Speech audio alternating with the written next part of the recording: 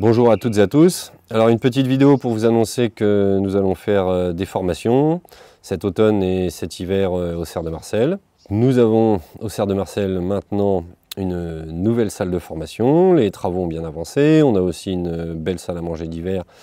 On va pouvoir euh, manger au chaud et donc on va pouvoir commencer à accueillir du monde au Cerf de Marcel et faire des formations. J'avais pas fait beaucoup de formations ces trois dernières années. Euh, la gestion de vers de terre production et de, des serres de Marcel m'a pas mal occupé. Plus euh, bah, pas mal de projets de recherche, euh, pas mal de projets de développement. Enfin bon, tout ça c'est que des bons problèmes. moi je suis assez content depuis, depuis ces trois ans là. On a quand même vu que la, la thématique du, du, sol vivant a beaucoup avancé. ça occupe beaucoup le, la scène médiatique, pourrait-on dire, du monde agricole. Donc euh, c'est assez plaisant. Euh, donc des formations au CERF de Marcel, pourquoi? Bah, Pour euh, parler de tous les sujets sur lesquels on a travaillé, puisque bah, vous avez pu le voir dans les différentes vidéos qu'on a réussi à, sortir sur nos travaux. On a quand même beaucoup avancé sur la reconstruction biologique des sols, l'utilisation des vers de terre épigés, l'irrigation aussi, on a, je trouve, beaucoup avancé avec l'utilisation des sondes, différents types de sondes, pour contrôler les, programmes d'irrigation. Euh, beaucoup avancé évidemment sur les couverts végétaux, ça vous avez pu le voir dans nos vidéos, puisque aujourd'hui euh, la plupart des cultures, des cultures d'été notamment, on les mène en, couvert permanent. Et on a bon espoir l'an prochain de réussir aussi d'autres cultures comme bah, des plus petites cultures, comme les oignons, les poireaux, les pommes de terre, et toutes les cultures un peu moyennes comme les, les céleris, les blettes, les choux. Et on a déjà des bons résultats d'ailleurs. Donc euh, voilà, beaucoup de progrès sur ces sujets, et évidemment aussi, enfin évidemment, euh, on a un petit peu parlé dans les vidéos sur les conduites en climat tropical, puisque cette année, bah, à cause du climat qui nous a amené beaucoup de problèmes sanitaires, on a été obligé d'avancer très très vite sur euh, ce que j'ai un peu appelé de manière provocatrice les, les climats tropicaux, mais on peut aussi appeler ça plutôt une amélioration de la gestion climatique des serres, vu que bah, nos plantes sont quand même des plantes tropicales, la plupart de nos légumes sont des plantes tropicales, hein, les tomates, les concombres, c'est pas endémique euh, de la Normandie ou de la Bretagne. Euh, donc on a beaucoup avancé sur ce sujet, et notamment euh, tout ce qui est gestion des pathologies, pucerons, idiom, mildiou. Aujourd'hui on arrive à très très bien gérer ça avec ces approches-là, et donc ça c'est très encourageant. Donc voilà, beaucoup de sujets et puis des sujets un petit peu théoriques. J'en ai pas beaucoup parlé ces trois dernières années, ces quelques dernières années dans les vidéos. Mais j'ai beaucoup avancé sur euh, la réflexion autour du cycle de la fertilité de la manière générale. On avait avancé sur ces sujets euh, au travers de la notion de ration du sol, euh, de cycle de la matière, donc les bilans azote, les bilans carbone, et euh, j'ai pas mal avancé sur aussi le cycle d'énergie et le cycle de l'entropie. Et je pense aujourd'hui être en capacité de, vous proposer un regard assez simple en fait sur cette notion d'énergie, cette notion d'information et cette notion d'entropie dans, les écosystèmes, dans les agroécosystèmes. Euh, ça a mis pas mal de temps à mûrir parce que c'est des sujets assez théoriques et quand on regarde des vidéos sur YouTube là-dessus, euh, on est vite noyé dans des équations, des considérations euh, et des exemples qui nous parlent pas trop. Euh, une tasse de café qui refroidit, euh, un corps qui tombe à cause de la gravité ou l'entropie dans les corps célestes. Bon, c'est pas des choses qui nous parlent forcément. et en tant que producteur, ben, on n'a juste pas le temps de s'amuser à étudier toutes les équations de l'entropie et de la thermodynamique. Donc voilà, je, pense avoir réussi à mettre en place un programme de formation intéressant là-dessus, avec beaucoup d'exemples très pratico-pratiques et beaucoup d'illustrations qui nous seront utiles euh, sur le cycle de l'irrigation, la nutrition des plantes, euh, et voilà, pas mal d'autres sujets aussi. Autour de ce cycle de la matière, de l'énergie et de l'information. Bah, je vous présenterai, oui, donc effectivement, les travaux de tous les stagiaires et de tous les alternants qui sont venus au CERF, vu qu'on a fait deux mémoires de fin d'études, cinq ou six alternances et trois, quatre mémoires de stage. Et donc beaucoup de travaux sur la tonte, sur la gestion de l'irrigation, donc la tonte découvert, euh, les itinéraires culturaux, etc. etc. Et euh, ça fait aussi trois ans que je suis en train de refaire tous mes supports de formation, donc j'en ai plus de 400 diapos, puis des centaines de photos. Voilà, il était temps, ça faisait trois ans que je n'avais pas refait de formation complète. Donc là, ça va être l'objet cette année de retester tous ces sujets, tous ces supports de formation en formation présentielle. Euh, il y aura un peu de digital aussi sur ces formations avec quelques fondamentaux euh, en e-learning.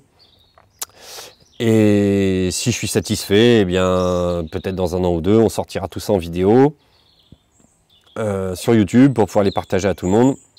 Mais il faut avant ça qu'on reteste un peu tous ces contenus, que j'échange avec des stagiaires qui viennent en formation, pour compléter le, contenu de la formation avec des exemples, des nouvelles réflexions et que ça mûrisse un petit peu, on va dire. Voilà, donc je, suis assez content. Euh, trois années bien chargées, mais les choses ont beaucoup avancé. Et je pense aussi en sur vivant qu'on a quand même euh, bah, fait un pas en avant quand même important. Euh, notamment parce qu'il y a 15 ans maintenant, j'avais lu La Révolution d'un seul brin de paille euh, il était sorti aux éditions Très Daniel, c'est ça, il y a une quinzaine d'années. C'était un livre qui m'avait beaucoup marqué. J'avais mis plusieurs années avant, comment dirais-je, d'admettre que ce que racontait Fukuoka dans son livre n'était pas euh, juste une affabulation complète, euh, mais ça avait un semblant de réalité. Et puis petit à petit, j'ai fini par comprendre que oui, bel et bien, Fukuoka avait réussi à, faire tout ce qu'il avait fait. Et donc pourquoi je vous reparle de Fukuoka? Euh, bah, Tout simplement parce que Fukuoka, dans son livre, parle peu des légumes et la production de légumes en agriculture naturelle. Et qu'est-ce qu'il en dit? Bah, Il en dit que pour lui, c'est un relatif échec. Il n'avait pas réussi à produire de légumes en quantité, de manière satisfaisante, dans le cadre de son approche de l'agriculture naturelle cadre où, in fine, qu'est-ce qu'il fait? Bah, Il essaie de produire des produits de manière auto-fertile, sans travail du sol et euh, sans, trop d'intervention mécanique, dans le cas de Fukuoka. Et aujourd'hui, bah, je, je, suis content parce qu'on a réussi avec nos légumes à mettre en place des systèmes qui sont très proches de ce que Fukuoka présentait lui autour principalement des céréales et des arbres fruitiers. Et euh, aujourd'hui, je pense être en capacité d'expliquer euh, pourquoi Fukuoka n'a pas réussi, euh, quelles étaient un peu les, lacunes de son approche. Bah, C'est très principalement des problématiques d'irrigation et, de mécanisation de la fauche pour gérer la concurrence entre les légumes et les couverts. Peut-être aussi une peut-être qu'aussi nous aujourd'hui, avec nos méthodes de reconstruction biologique des sols et notre meilleure compréhension des vers de terre, euh, on peut aller beaucoup plus vite dans la reconstruction biologique des sols et dans la remise en place du cycle de la fertilité dans les systèmes. Et très rapidement, bah, on peut avoir des, sols suffisamment fertiles pour pouvoir euh, installer des couverts et des cultures dedans. Et nous, on utilise aussi des serres euh, qui nous aident pas mal en fait à, à, mettre en route ce cycle de la fertilité. Même si aujourd'hui, on a déjà des cultures comme les courges, les courgettes, les choux qui fonctionnent très bien en plein champ et en couvert permanent. Donc voilà, aujourd'hui j'ai cette satisfaction euh, avec 15 ans de, recul de pouvoir me dire que bah oui, on a été plus loin que certains pionniers et on a réussi à notamment à faire ce que Fukuoka n'avait pas réussi à faire, c'est-à-dire produire des légumes dans quelque chose qui est très proche de l'agriculture naturelle, même si euh, j'ai pas euh, toute sa philosophie anti-mécaniste qui m'inspire par certains aspects, mais, mais qu'on n'applique pas forcément au quotidien cette vidéo pour vous annoncer nos formations. Donc elles dureront trois jours. On en prépare une, donc il y en aura une en décembre. Vous trouverez les détails et hum, toutes les dates euh, dans la description de la vidéo. Donc la première formation sera du 10 décembre au 13 décembre en présentiel et il y aura une petite partie de e-learning avant. Donc ça sera au Cerf de Marcel, donc euh, dans le sud, dans l'Eure, dans le sud de la Normandie, au Cerf de Marcel, pour la partie présentielle. Euh, on aura une certaine capacité d'accueil pour dormir un petit peu sommaire, euh, puisqu'on a quelques lits là, dans un petit dortoir, quelques caravanes et mobilhomes, et euh, on a des serres sous lesquelles on peut planter des tentes. Deuxième session en janvier si la première se remplit bien. Et s'il y a vraiment beaucoup de demandes, on envisagera de la filmer et de la retransmettre en streaming ou en différé, je ne sais pas trop, on verra. On verra bien un petit peu les inscriptions qu'il y aura. Euh, donc je serai le principal intervenant, euh, il y aura sans doute euh, quelques stagiaires qui interviendront aussi pour présenter leurs travaux. Ça se fera au mois de décembre, donc il n'y aura pas forcément des magnifiques cultures en climat tropical et en couvert permanent, mais ça c'est le lot de la formation en maraîchage. Euh, de souvent faire les formations à des dates où c'est pas le plus intéressant dans les champs. Euh, le formulaire d'inscription est en description de la vidéo.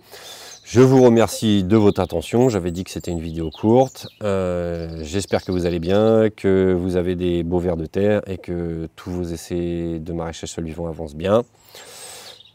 Et pour finir, ben, un grand merci à tous ceux et toutes celles qui nous ont aidés dans le montage des serres de Marcel parce que ça a été trois ans de travail acharné où il a fallu faire euh, tout le juridique, tout le foncier, toute la mise en place de la R&D, tout ça, tout ça. Ça a été beaucoup, beaucoup de travail, mais il y a beaucoup de gens qui nous ont aidés.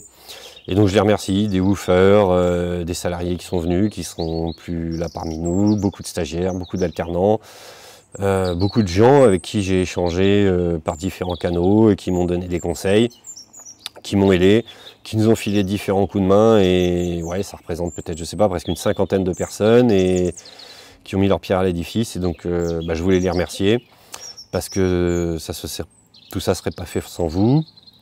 Évidemment, je peux pas tout faire avec mes petits bras. Euh, et bah, merci à Marcel aussi, évidemment. Allez, à bientôt et j'espère vous voir à la formation. Allez, au revoir.